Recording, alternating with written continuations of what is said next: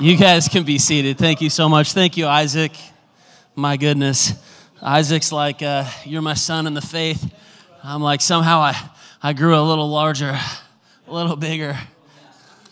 But uh, I want my faith to catch up to Isaac's. How was everybody's service? Man, worship service. I'm, I'm still kind of floating right now. Uh, pardon me on that. How about that song, Let the Light In? Man, you know, it's, it's funny how you, you miss one Sunday and you know it feels like an eternity. I'm like driving in i don't know if any of you guys do this I'm like driving into church and i'm just crying worshiping in my car. That, that happened today.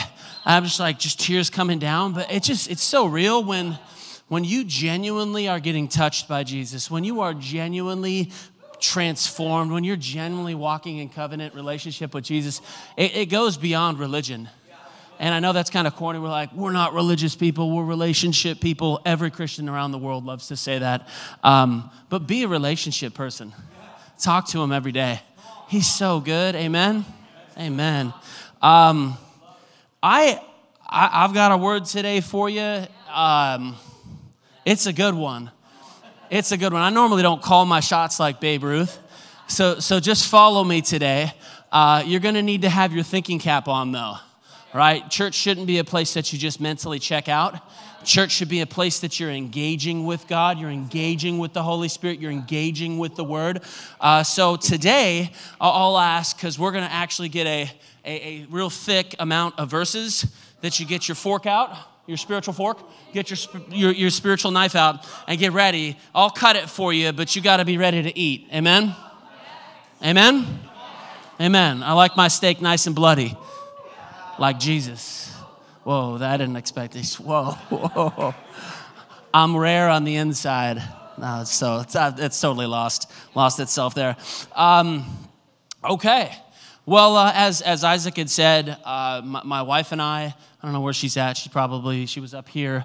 Uh, oh, she's right there um, wonderful wife. Um, so, so one of the things Isaac was just precluding to uh, was that we just, you know, just bought a property in Bend. I, I, love Bend, Oregon. I grew up there with family and visiting there on the regular basis, and uh, I've begun the journey of of trying to be a project manager from a distance uh, with no experience. Uh, do we have any construction guys in here? Anybody have any experience with like managing jobs, construction?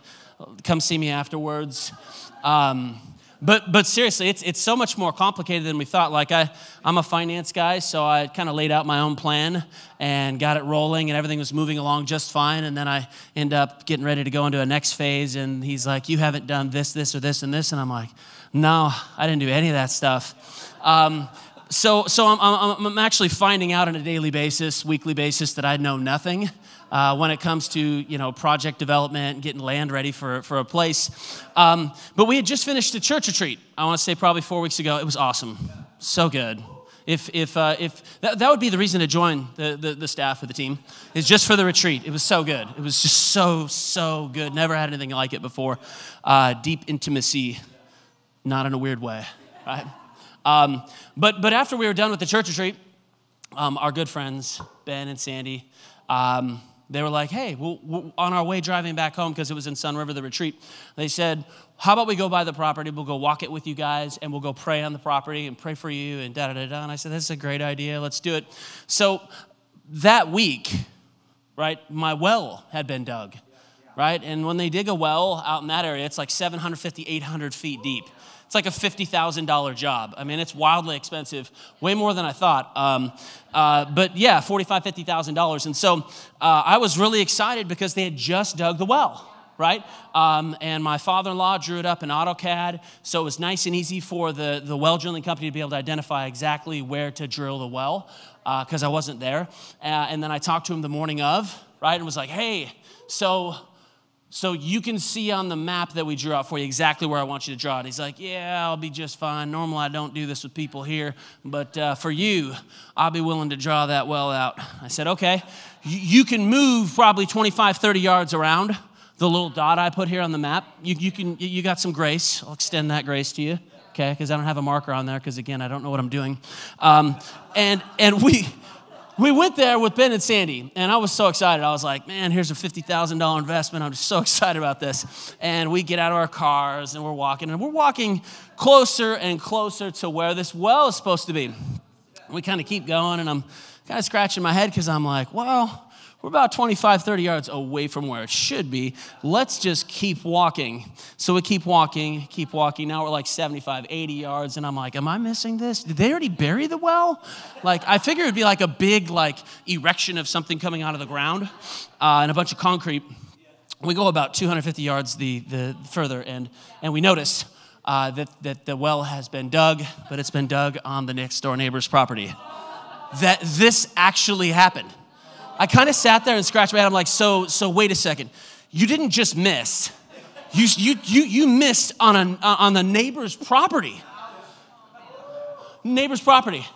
And so I've been for the last like four or five weeks going back and forth with this neighbor. He had no idea. He just got a fifty thousand dollar well, and uh, it's really been it's really been a journey, and um, kind of a, a sore spot for me because I feel like I was making making momentum and then only just to get chopped out at the knees find out, hey, you're, you're really not making good momentum.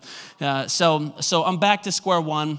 And um, it, it's funny because in my mind, uh, today's message, the title is Dig Another Well, right? Which is the exact opposite of what I want to do in my life right now.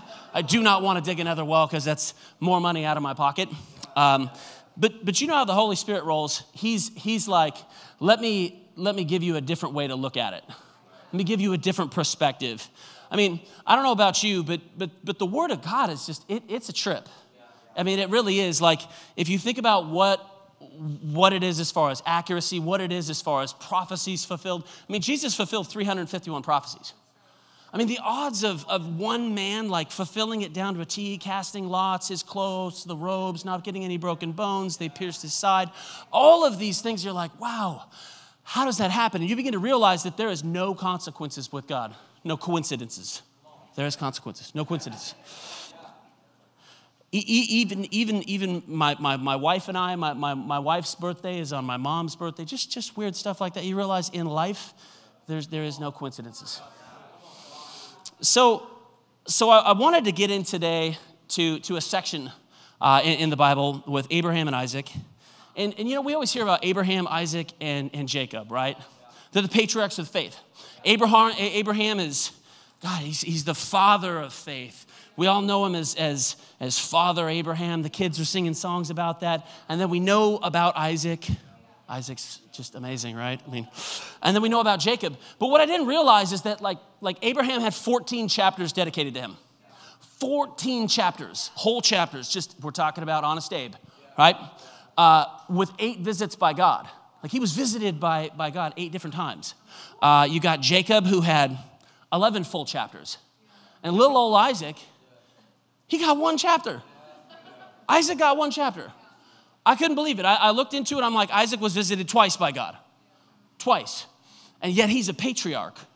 He's got greatness ahead of him in his dad, and he's got greatness ahead of him in his son, and all these chapters and all of these visitations by God. And it was just this, this, this, this weird like, wow, I, I didn't really know that, that Isaac played such a small role. But it's not that he played a small role, it's that his role was, was, was more like the Beatitudes. It was, it was more like grace. It was more like compassion. It was more like mercy. It was more like, uh, instead of going against somebody who does you wrong, he, he kind of just took it and said, all right, I'll just move forward. Isaac, in a lot of ways, parallels Jesus. He really does. He parallels Christ. And we're going to get into that today a little bit. Amen? Let me just pray real quick.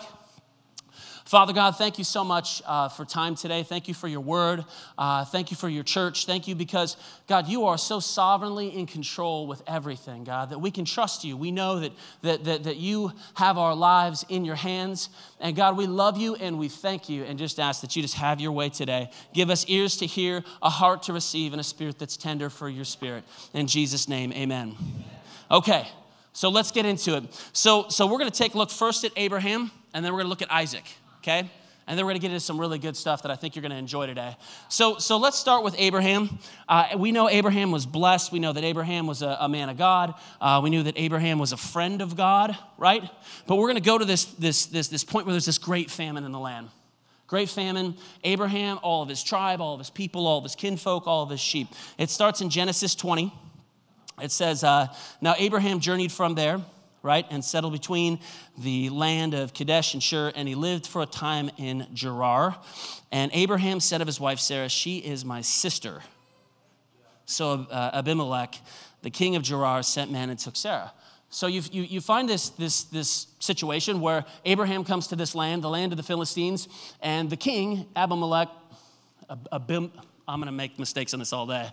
Uh, Abim, I literally practiced this. Abimelech, Abimelech, right? Abimelech, help me out here. Um, so, so they say, hey, you know, you, you've got a fine dime piece with you here, Abe. Is, is, is, is, are you with her? Who is she? And he was scared that they were going to kill him. So he said, it's just my sister right? Okay, so like, okay, so it's not, it's not your wife, it's your sister. So they went ahead and took her. So then we go to Genesis 20, and I'm going to breeze through this part here.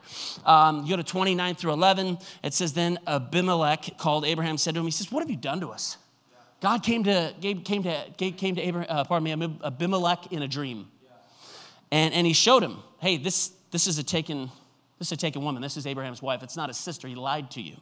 And you get to the end of that verse there, and it says, Abraham said, Because I thought surely there is no fear of God in this place, and they will kill me because of my wife. So, so okay, we got that. Then we go to Genesis 21, and it says, Now it came about that time that Abimelech and Phicol, the commander of the army, spoke to Abraham, saying, God is with you in all that you do. Like they recognized that God was with him. He's with you in everything that you do. He says, So now swear to me here by God that you will not deal falsely with me or my offspring or my descendants. So, so we see that, that, that the Philistines wanted to make a covenant with Abraham. They said, You know, you're, you're, you're great, you're mighty. We know that God's with you, right? We're sorry about the whole sister thing, but you set us up, right? Not our fault. But we want to make a covenant with you. We, we want you to protect us and us protect you. Now, uh, Abraham says, Absolutely, no problem. So they go into covenant. But Abraham did complain. In uh, verse 25, it says, Abraham complained to Abimelech because of the well of water which the servants had seized. So, so all's good in the hood. However, they're trying to take Abraham's wells that Abraham dug. He dug these wells for cattle, sheep, flocks, everything. And uh, Abimelech says, No problem, we'll get that taken care of for you. So now we're going to go to Isaac. This is what's that's wild about the Bible. The Bible doesn't have any coincidences. Like it's it's every little thing stands out because it's supposed to stand out. I was talking to a, a rabbi at a messianic Jewish church, which if you've never been to one of those, I'd say at least it's worth a good visit one time in your life. Right? These are these are born again Jews right? They, have got one here in Vancouver. I went there and I sat down with the rabbi afterwards in his office and he said, he says, You knew we're saved. I said, Yeah, I've been saved for like a couple years. And he said, Well, let me just give you the best secret that a rabbi told me. He says, This has worked so well for me. He says, As you read through the word, recognize the word is alive and the word is spirit.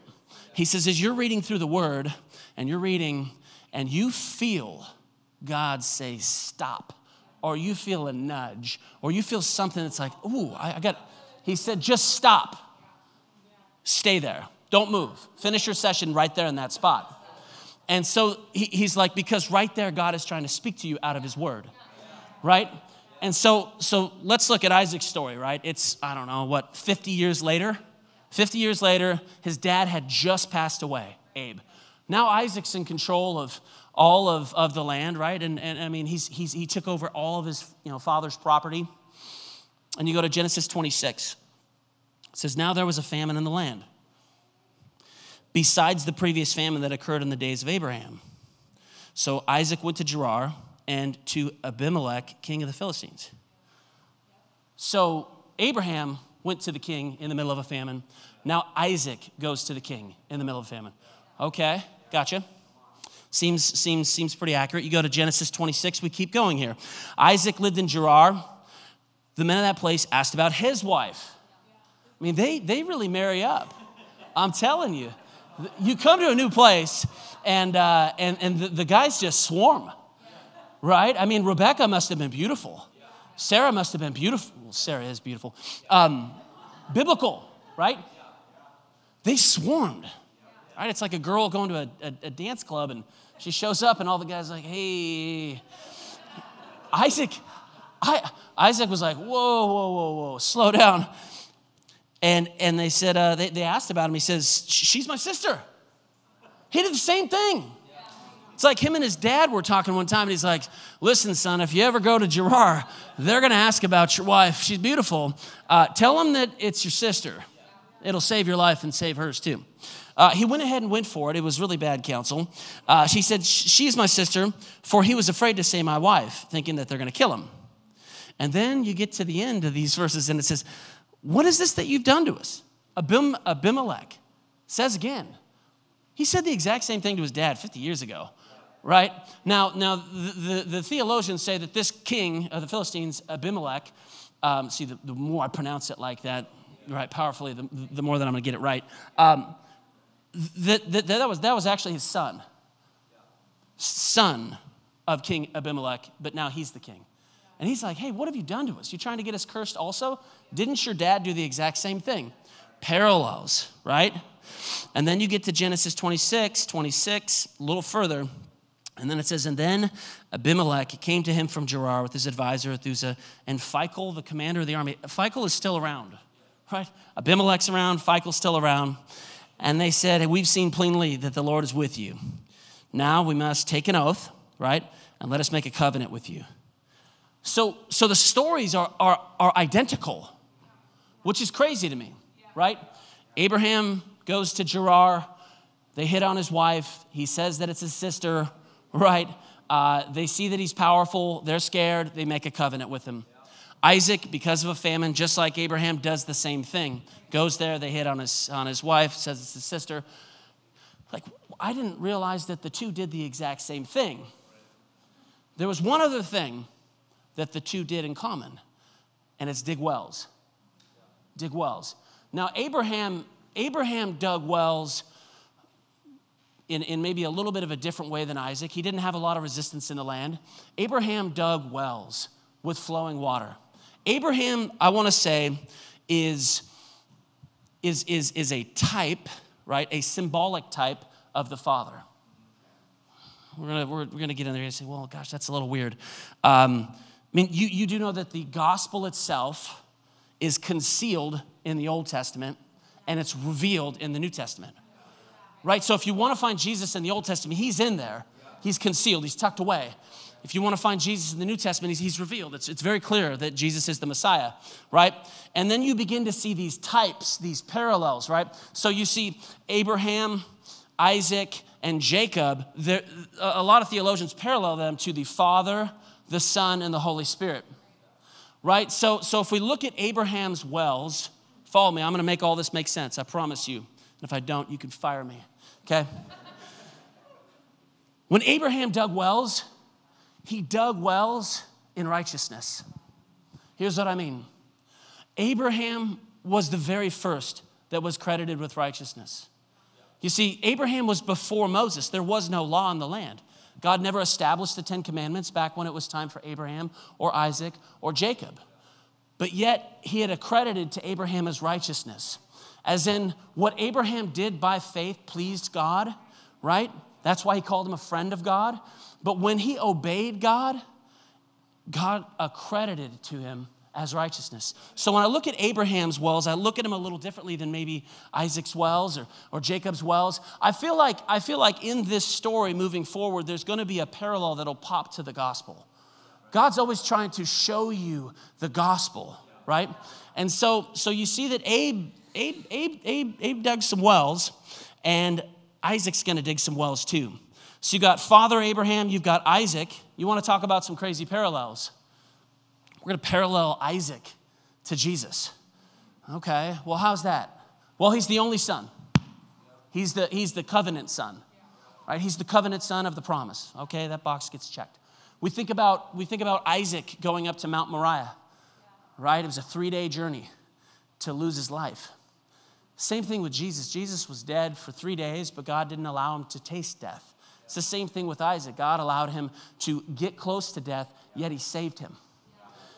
Can't forget about Isaac journeying up Mount Moriah with the wood on his back.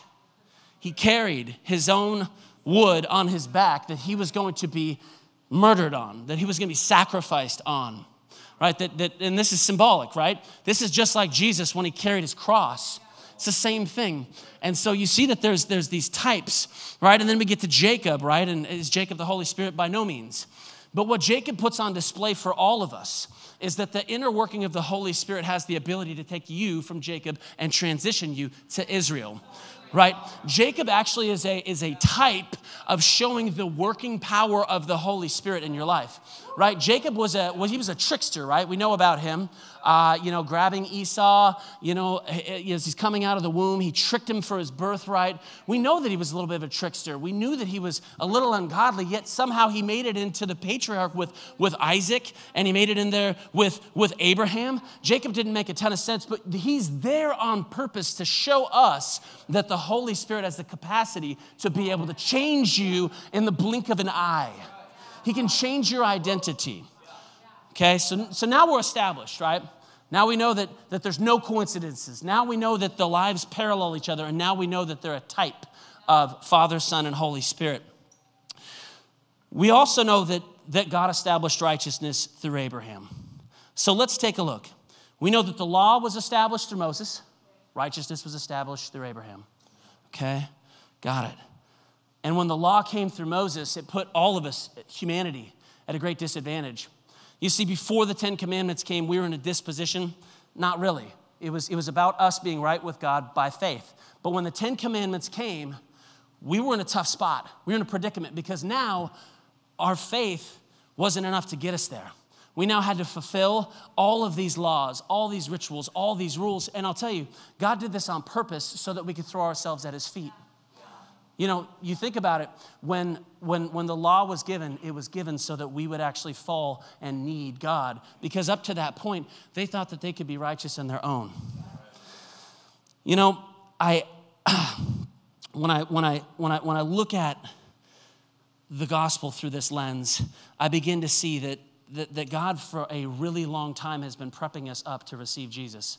He'd been preparing us through Abraham to say that the only way that you're going to be made righteous through me is through faith.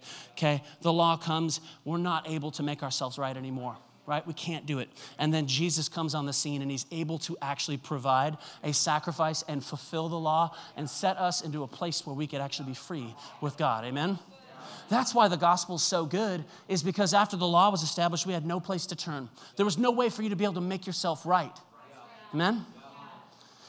So let's get into this whole wells thing. It's the purpose of the conversation today is wells. Wells. Not just me venting about my well on another person's property. It's, it's, it's the wells that were established. So when, when I think about Abraham's wells, these wells are a form of righteousness. Let's get into Isaac's wells. So Isaac in 26, 18 through 20. It says Isaac dug again the wells of water which had been dug in the days of his father Abraham. So there was a pre established righteousness, there was a pre established wells. For the Philistines had stopped them up after the death of his father, and he gave them the same names his father had given them. But when Isaac's servants dug in the valley, they found a well of flowing water. You just keep this one up here. Water is representative free flowing, free grace, free mercy. This is the gospel. Like they literally stumbled upon us. They said, Well, we're now here. Let's go ahead and dig up Abraham's old wells, righteousness by faith. And so they get out there and they dig them they say, We found it. We found free. We found flowing. We found water. And the Philistines, the Philistines, this was their land. They were having none of it says the herdsmen of Gerar quarreled with the herdsmen of Isaac, saying, The water is ours. So he named the well Esek because they argued with him. You see, what happens is, is the gospel in itself is, is it's so pure, it's so free, it's so good that it almost seems not right. Like, how could it be that good that Jesus literally paid the price for all my sins? How could it be that good that he doesn't need me to earn anymore? And so, what happens with humanity is, is just like the Philistines, we, we receive of the free, and we begin, we begin to add ourselves into the picture. You see, so what they did to these wells, that were Abraham's, is it said that they, they, they covered them with dirt, they covered them with rocks. And dirt, the rocks, representation of flesh. And so they've taken something that was so perfect, the gospel, the righteousness of God, and now they've, they've, they've polluted it and made it inaccessible for anybody right? And what that does is that creates contention and that creates strife. You were meant to freely be able to receive the gospel. But what's happened is, is over time, we've created so many barriers. If, if, if I look at myself, I'm kind of like the Philistines too, right? As I got saved, I tasted freely of those wells. I tasted freely of God's goodness, freely of God's mercy, freely of his righteousness. And what happened is somewhere along the lines, I kind of began to include myself in the equation. And the more that I begin to say, well, if I do good this week, then God will love me more. If I don't sin this week, God will love me more. If, if, if I treat my wife right, which is a good idea, right? But if I do that, then, then, then I'm more holy and I'm more right. Every time that I do that, I'm throwing more dirt on the free flow of grace. Every time that I add new barriers, I'm adding new things that are going to keep me separated from the free flow of grace in my life. And this is what this is what Isaac was saying. He's saying, "I went to access the righteousness that my father had established." I went to find the goodness of God that's freely accessible, and now I find that it is buried it is buried in dirt. It is buried in humanity. It is buried in new reasons why I'm not good enough to be able to have access to that water. And that's why Isaac said, I'm going to call you Esek. Esek, which is strife, it's contention. And I find that the strife and the contention that he's talking about is with people. Right? It's, sometimes the, the, the battle isn't just with yourself. He was trying to freely access what God had given him. But because of what was being put on that, now he couldn't have access to it. And furthermore, they contended him for it. They said, You can't have access to this. The water is ours. Somewhere along the line, we thought that, that access to God was something that we, we get for us. It's not, it's actually for all. The gospel's for all. The goodness of God is for all. There's more than enough righteousness to go around. There's more than enough mercy to go around. There's more than enough forgiveness to go around. But at some point, we made the decision that there may not be enough. You're probably a little too bad. And according to what I think you'd need to do in order to receive that, well, I don't know if you're there. If we're really honest, we do this with, with, with, with, with other people. I know I do. My love to my wife, it's not like the, the, the well. It's not. It's really not. Um, and that's horrible just to say it like that, but I'm like, it's not, right? If she does well, the house is clean, and you guys are like, he is so bad. The house is clean. Or, or, or, or, or, or dinner, or you, you name it, whatever it is, your expectations or your boxes that you need checked, if she does those, then we remove the layers and the water and the love can flow freely. It's not just them contending with you, it's you contending with them. It's contention, it's strife, and there's no peace. I think if, we, if we're really honest, um, we don't think the gospel should be this way. I mean, they struggled with this in the New Testament too. The laborers, so wait a second, I've been working all day. This person came at the end and they get the same pay for the day as I do. That doesn't seem fair. It didn't really seem fair either to the Philistines. Didn't seem fair. That wasn't the last well, there's another well. In 21, it says, Then they dug another well, and they quarreled over it too. So he named it Sitnah. Sitnah. Sitnah. Real interesting. This well has, has a name called Sitnah, and the root to that word, Sitnah, is actually Satan. Satan. Enmity, right? Hatred is, is, is, is another word that comes out of Sitnah hatred. Satan. I just, boy, that seems pretty bad. Um, so, so for this one, it's got flowing water, but the, the dirt and, and, and the rocks and, and the things blocking it now seem to be much different than the other well. The other well's contention, strife. This one, this one's dark, right? It's hate, Satan. So, so, so we're gonna have to fight in contention with, with ourselves and with humanity here. Over here, we're gonna have to somehow make our way through Satan, right? In order to get to, to, to grace, in order to get through, through to, to, to the free flowing waters of righteousness and the goodness of God. Can I tell you, it's, it's really not your battle in either of them, to be fair. God doesn't even want you to fight him. Like, I, I think, I think, I think Isaac so demonstrates this good. He doesn't even fight with him. At the first well, he's like, they started fighting me. He's like, all right, we're good. We're good. We're gonna, I mean, we're just gonna go down the way. We'll find another well. You guys can keep this contention well. And he goes to the next well, and there's another group that followed him. And this one, he kind of looked at and they challenged him again. We know that Jesus said this. He says, You'll be hated because of my name. John, you know, Luke 21. Yet not a hair of your head will perish. Your endurance, through your endurance, you'll gain your lives. So after we're done contending, now we go to Sitnah. These are not your fights to fight. And I would encourage you, as you're trying to get to the gospel in your life, as you're trying to get to that free flowing grace in your life, as you're trying to get to mercy in your life, you may be the thing blocking you from getting it.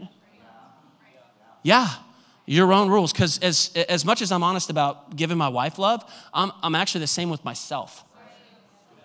I don't love myself well when I'm doing bad. I'm actually pretty bad at it. I, I don't love myself well. I don't love others well because I'm not doing enough. And, and with this well, hatred, enmity, Sitnah, you don't even want to mess with that one.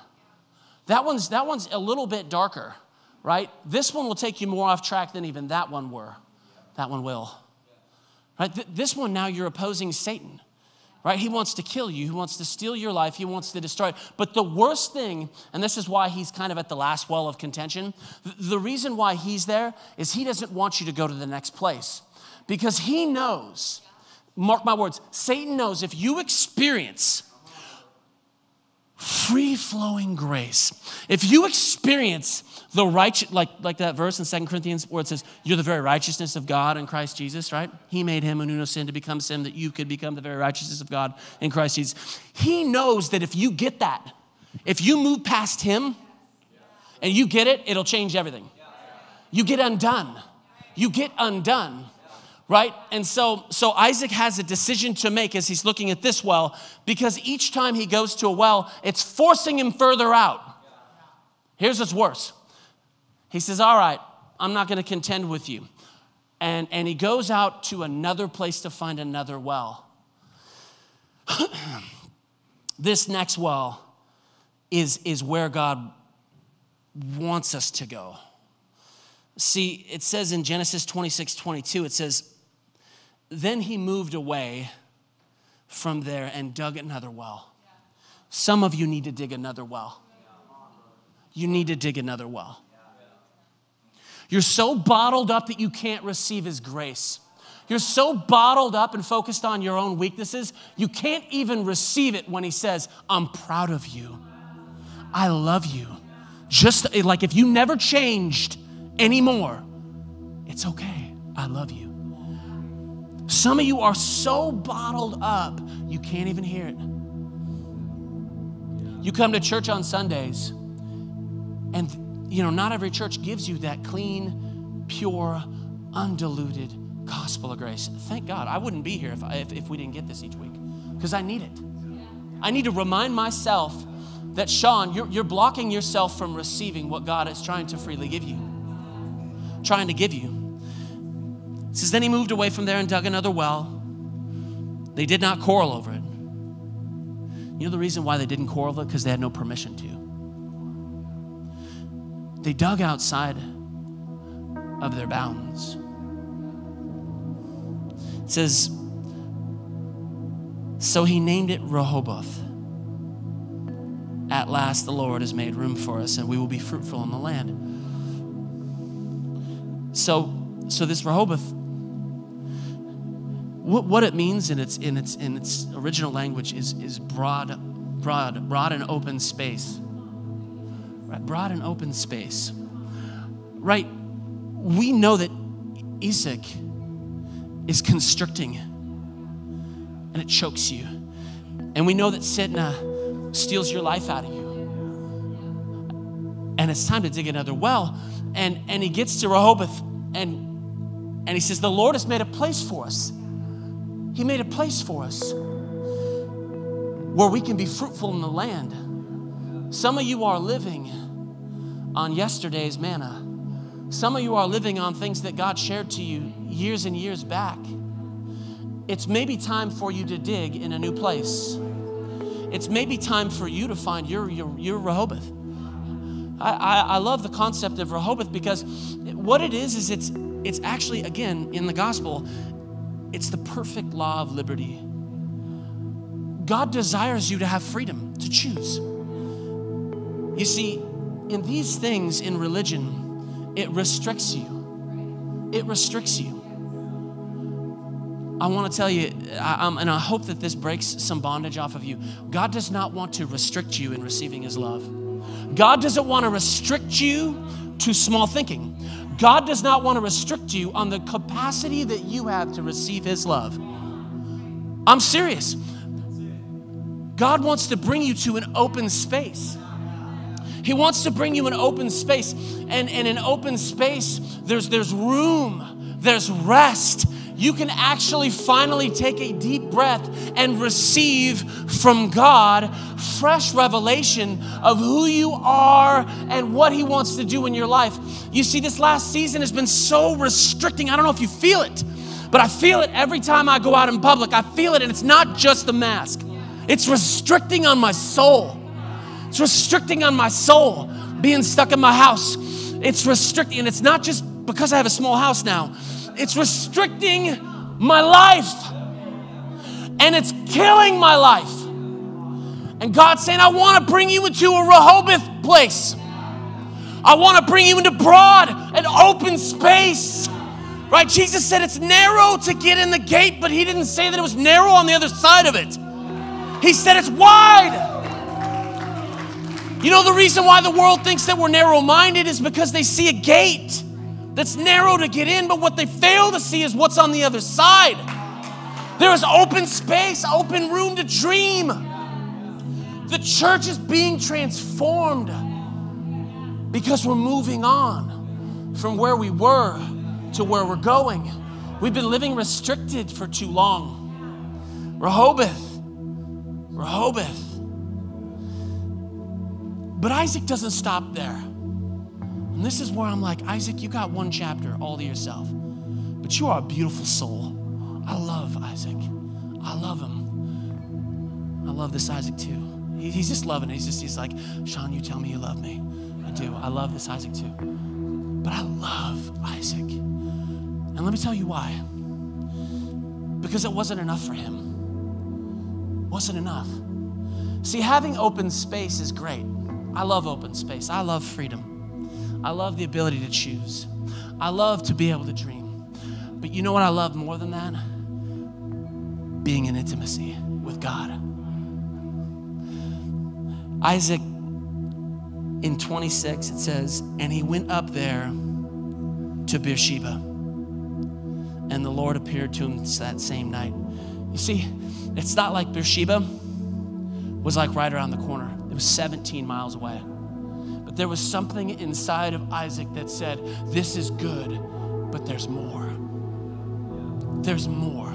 There's something so much deeper to God there's something so much deeper to this relationship with, with, with me and Him that He wants me to explore. There's something so much healing that I need that it's not just in open spaces, but it's coming into a deeper covenant right? Some of us get to the free space and the open space and we, we experience the law of liberty. We experience righteousness. We experience mercy. We experience grace. And it's so good. But it's just the start. You see, God wanted to take Isaac to Beersheba so he could speak to him.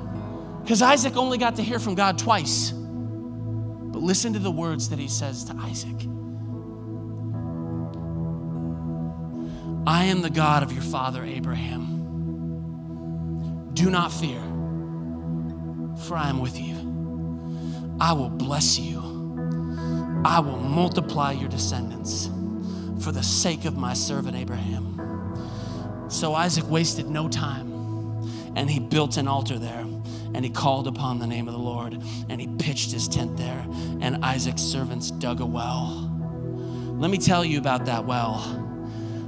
This is a deep well. Kyle, could I, could I get that? I believe, I believe that things need to be memorable. Things need to be memorable. And the last thing I want is for you to take away from this message that I've been hanging out in the wrong wells for too long. I just need to get to Rehoboth. I need to get some, some space. I'm feeling constricted. I want to challenge you to go from getting freedom and breaking the chains of restriction to going to a place where you can be in covenant and deep, intimate relationship with God and get what you actually need. You need it. So I'm to give you something memorable.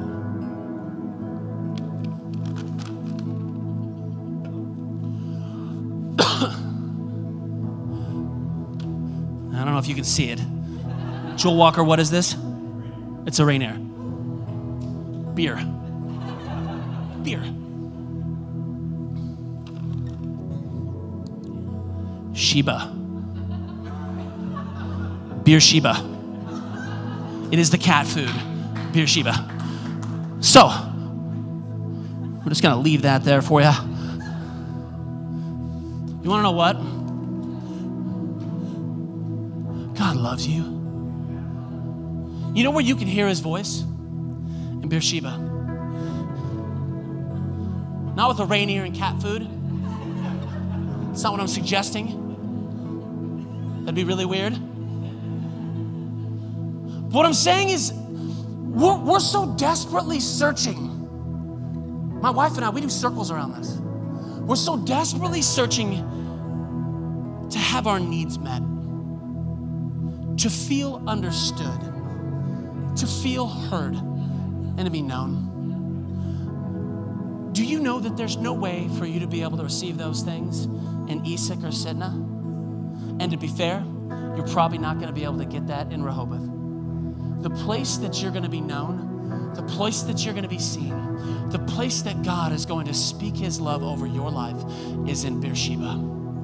And God is calling you to Beersheba. I love that clap over there. I see you. And here's what I want to finish on. I, I, and, I, and I hope, I hope this is speaking to your spirit because you know that's my longing. I don't want to just preach messages. I want you to grow in God. I want you to come into relationship with Him. I want you to, I want you to long to be in there. Because once you get there, you'll never want to leave. You'll never want to leave. I, I, I don't even belong in church, to be honest with you. I don't. I was the heathen of heathens, the worst ever, and didn't even want anything with God. And you know what he did with me? He skipped Esek, he skipped Sitnah, he skipped Rehoboth, and he says, Come with me, son, right into Beersheba. I'm gonna take you right in to my free flowing love. I'm gonna take you right into my free flowing mercies and grace. I'm not even gonna create any barriers for entry. Why? Because I already paid the price for you to be able to receive it. That's the good news. So we know that this whole well business, Abraham established them, man destroyed them, created barriers. Isaac unpackages the wells, but even he was eventually rejected by man. Rehoboth is where God's wanted to bring us all along. You see, there's this, there's this verse. I love this. Oh man. So, so Moses, Moses is getting ready uh, he just murdered somebody. He's been a recluse for 40 years, hiding from God. It is. Some of us have been hiding, hiding because of our sin, because of our shortcomings, because of our failures. And so what we do is we hang out right over here in contention and in death, right? Moses was actually hanging out over here in Sitnah and Esek. He was hanging out there. He was hanging out there for 40 years. God can't use me. And God calls out to Moses and he says, Come on, Moses, I'm going to send you out there. I'm paraphrasing. And Moses is like, No, no, no, no, no, no. Not me. Not me.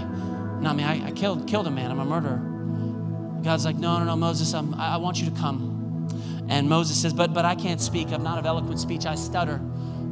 The first thing that came to his mind was his inadequacies, was his sin, was his shortcoming. And I love it. God says, Hey, I am the God of Abraham, Isaac and Jacob. Here's why, the, here's why this is kind of funny.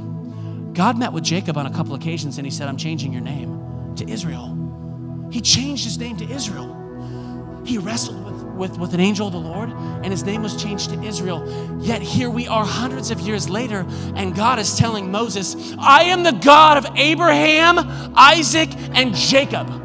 Why in the world is it not Abraham, Isaac, and Israel? You know why?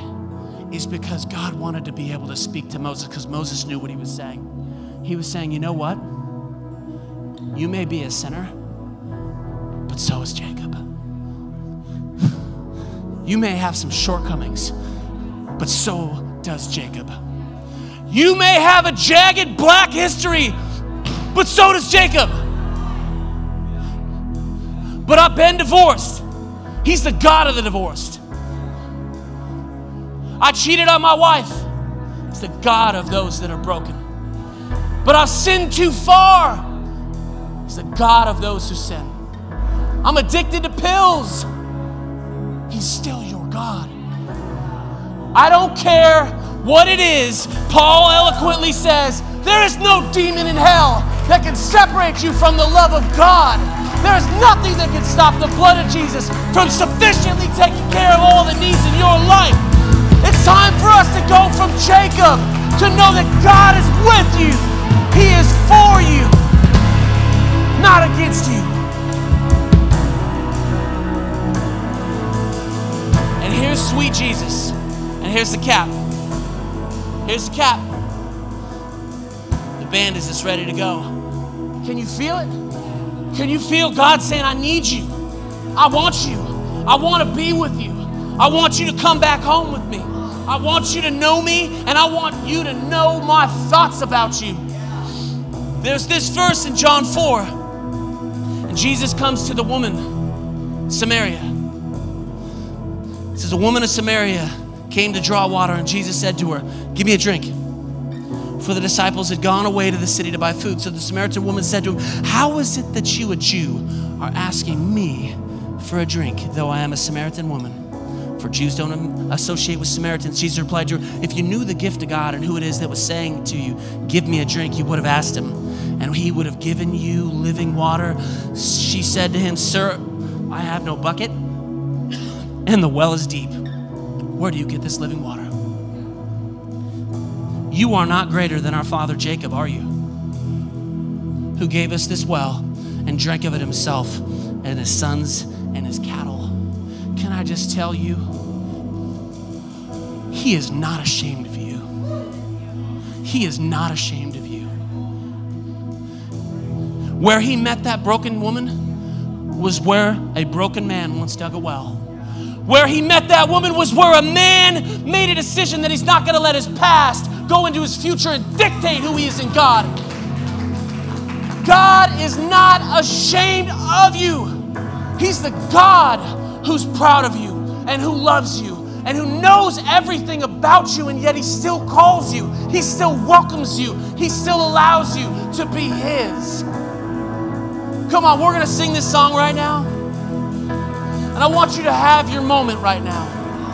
You have your moment right now. You come into your Beersheba right now and you begin to call on the name of God. You make an altar right there where you're at. You close your eyes and you begin to call out to the God of Abraham, the God of Isaac, the God of Jacob, who looks not light upon windows,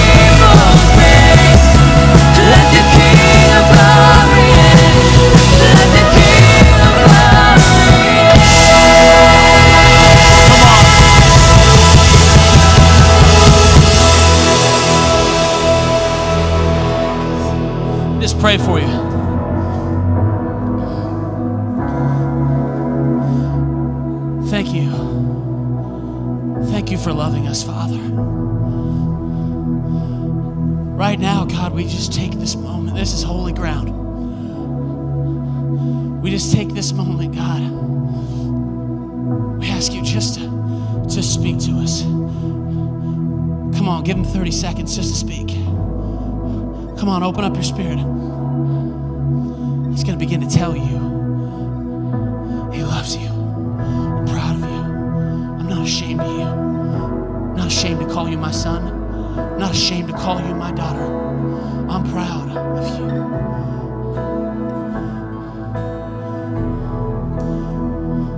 Come on, some of you have not heard his voice for some time. Just let him minister to you. He loves you so much. It's like the prodigal. He's running right back to you right now, running right back into you right now. He's not waiting for you. Come on, you're just open. You're just there. And he's coming right for you. Come on, he's coming right for you, arms open wide.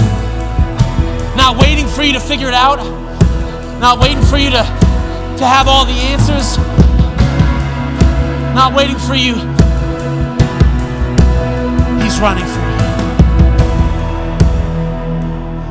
And he loves you. Father, I pray you just let this word just settle in our spirits this week. God, we go from the wells we've been drinking in, and we go past free space. We go to you in that sweet, sweet spot of communion and intimacy.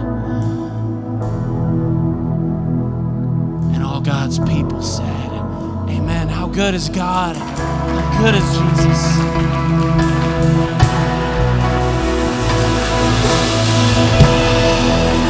If, if, if you would like some prayer, come on up here to the front. We've got team, love to pray for you. We love you.